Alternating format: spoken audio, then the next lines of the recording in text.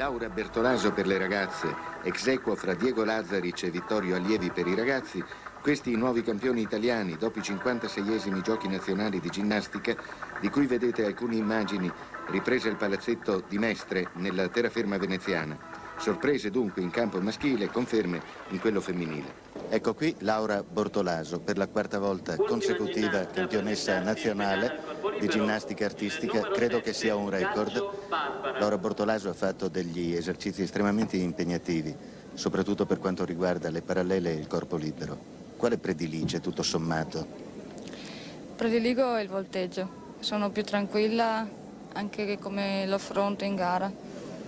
Dicevo un record, Laura, è un bel record, quattro volte di fila campionesse. Eh sì, c'è stato già qualcuno delle giudici che ora stanno giudicando eh, le ginnaste e mi sembra c'è stato qualcuno che ha fatto quattro, quattro titoli. Non sì, probabilmente seguito. non consecutivi, certo.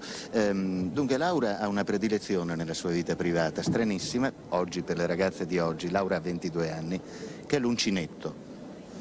È il mio hobby preferito, mi piace più di tutto, qualsiasi altra cosa. Non hai cominciato prestissimo? No, 12 anni. Si inizia di solito a 6 anni, quindi non so come fa. Questi campionati nazionali qui a Mestre preludono un gran galà a Roma? Sì, è il 27 di questo mese. Che sarà molto impegnativo? Sì.